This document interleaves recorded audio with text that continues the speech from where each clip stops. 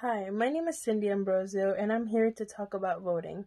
Voting is so important and so critical because, in order to see the change you want to see in your communities, it is important to elect a representative that best aligns and fits values and opinions that you care about. As social workers, it is important to be involved this November and to not only be involved in actively hitting the polls, but it is important to also spread the awareness of the importance of voting.